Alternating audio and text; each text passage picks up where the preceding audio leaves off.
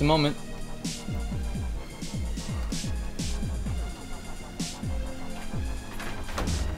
Hey guys. Hey. Glad you guys can make it. Come on in. Thank you. Sorry for the delay. You know how traffic can be. I hear you. Can I get you guys anything to drink? Uh, water's fine. Yeah, same for you too. it's Two waters it is. So, Lydia, how are you? I'm all right. Good. And Timothy, it's so good to see you. Uh, likewise. So the traffic was bad, huh? Uh, of course it was.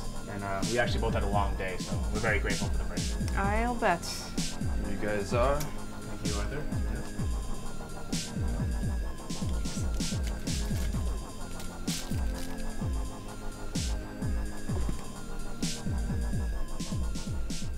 So, Deborah, you ready for next weekend? I guess. Is this the uh, glass menagerie? Yep. Are you nervous? Not really. It's just a matter of getting into the part. Luckily, Tennessee Williams makes it very easy to get to know his characters, but still a bit of an endurance trial with him. That intense? Pretty much. Although I think anything I look at now is intense. The uh, nature of acting? Of course. But what I mean is, you all know that I loved being on stage in grade school. And in a way, I, I still do. It's just that I wonder. I don't know.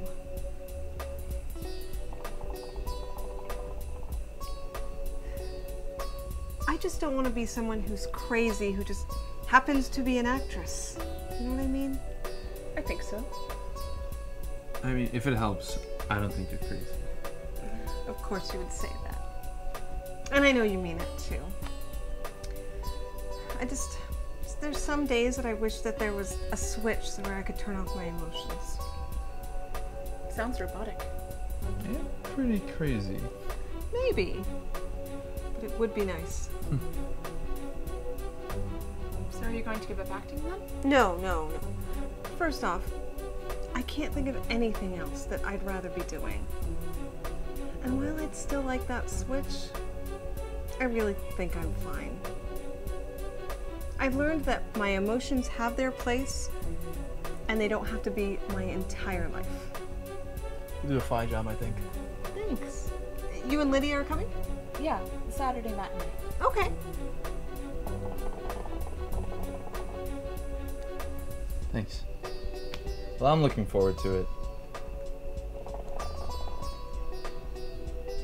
You may disagree with me a little here, but there are definitely times where I could use some of those intense emotions. Hmm. Still thinking about the stats? Unfortunately, I'll be thinking about them for a while. The term paper? What else would it be? Hmm. I mean, I don't mind well articulated ideas, even if I disagree with them.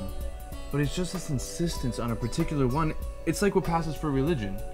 No offense to present company. You know what you mean. Luckily. Though, I guess I would imagine true religion to be more forgiving than at the Temple of Academe. I mean, where I'm at is supposed to be this place of free thinking. It shouldn't matter how you see things as long as you can present your ideas clearly. I mean, this should especially be true for the arts and humanities, right? Here we go. She's obviously heard this from me before. What can I say? It's your finest monologue. Thanks, Deb. At any rate, I believe art is experienced in two ways. The first is subjective, and that depends solely on the individual viewing the work. For instance, take one of your paintings. And by the way, I really like that last one you did. Thank you. I look at your painting, and I can explain it using what I know about art, which probably isn't much. I may not be able to cite particular painters who influenced you in your work. However, I can note what I see based on the colors you used and the way that you chose to depict things. That's the subjective side of things. Then there's another way which is slightly more objective. But in order to do that, I have to take into account what is actually there, both in isolation and in context. So this has to go beyond my own personal experience, and I actually have to consider the experience of others, both the commendations and the condemnations. Then, what you have to do is you have to find the hidden subtext, you know, influence, subject matter, um, historical context, cultural values, and so on. And a good understanding of a work of art, and therefore critical analysis in the true sense of the word, has a subjective remain subjective, and the objective remain objective.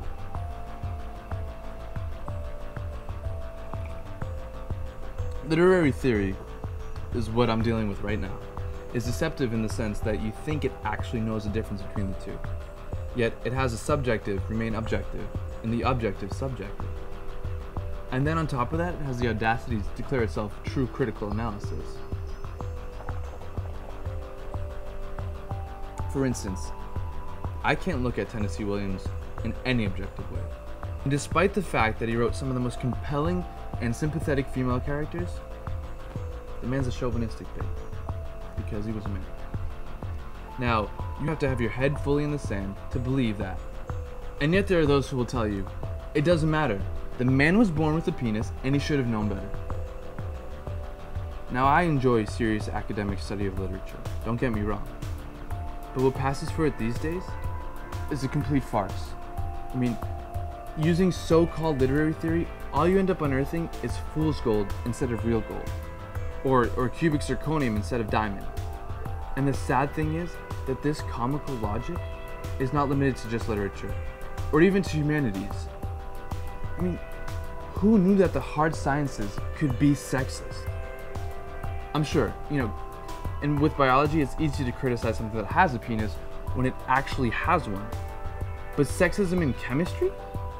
Or in physics? Jesus Christ. Sorry. I just. I wonder whatever happened to any bit of sanity. I mean, is the academe run by patients in the asylum? And and are most of those compulsive flashers and sex perverts?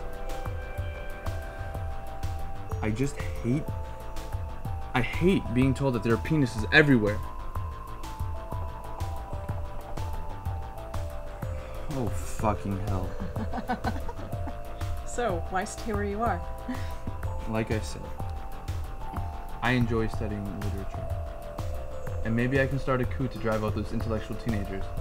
Plus, I look at Timothy over there, and the thought of having a real job scares me. Even though I'm sure it hasn't claimed your soul yet. Well, you know I wouldn't let that happen. Of course not. Oh, grow up. I, I'm sorry. I, I really am. Seriously, I, I understand your frustration, and I don't blame you. The director has some weird ideas of how I should play Amanda. Very weird.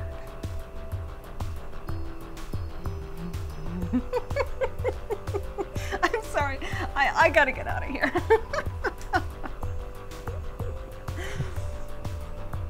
think I entertained her this time. Ever tried to stand up? No. I don't think I can do it. How about the internet? Fuck no. Not sure I want to take it. It being dirty. Oh, just take it. And I'm sorry about what I said earlier. You're an adult. Thank you for the observation. You know, you still remind me of a mother hen, even without kids of your own. Thank you for the observation. Okay. Now it's my turn to apologize. I've had a long day. Oh? Price of being a mother hen. It's my crust. You know it's preferred to beer with some bit of cheer. Aren't you a sharp wit tonight? Should I be serious then? Just be supportive. Did I miss anything? Nothing of great importance.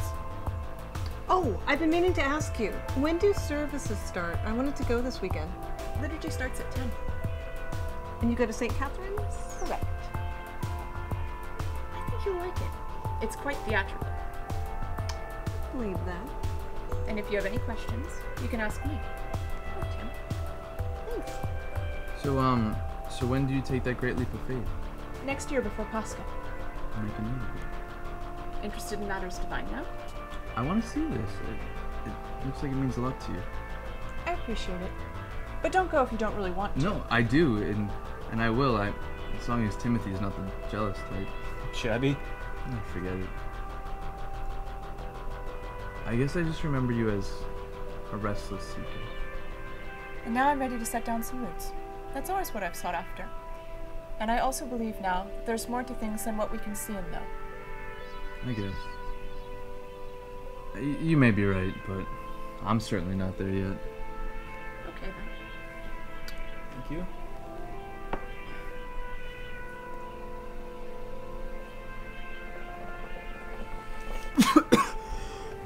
Are you okay? yeah, I just breathed it wrong. Don't kill yourself over there. Then by extension, I shouldn't be doing this, should I? So leave it then. I was joking. So, do you have any paintings in the work? Nah, nothing yet. It's been so crazy at the office. I have little to no energy for painting. And then again, these things come in waves. Are you gonna try and sell any of them? I can try.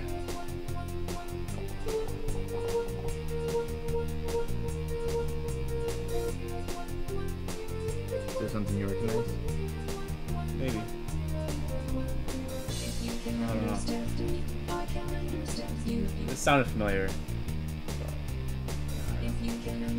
Then again, music is sounding more and more the same each passing day. That could be. Then again, I think it's always been like that. Nothing new under the sun. How existential.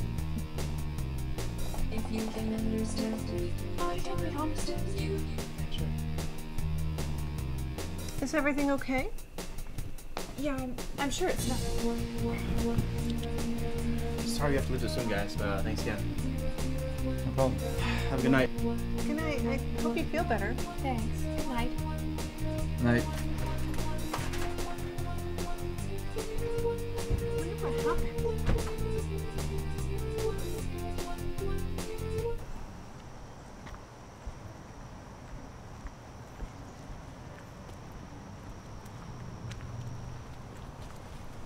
Thank you for taking me home. Of course. And I'm sorry for ending the night so soon. No worries. Look, if it's something I said, uh, I'm sorry. It was, but thank you. Care to tell me what it was exactly? I don't remember. I should just remember that you're your own man. Meaning? You just do your own thing and in your own way, no matter what. Is that a bad thing? It can be annoying some days, though not always. I'm sorry. Don't apologize. If I thought it was a problem, I wouldn't be here with you now. Thanks. Listen, I just I want you to know that I'm here for you. I mean, for all of you. The good times and bad. I know you are.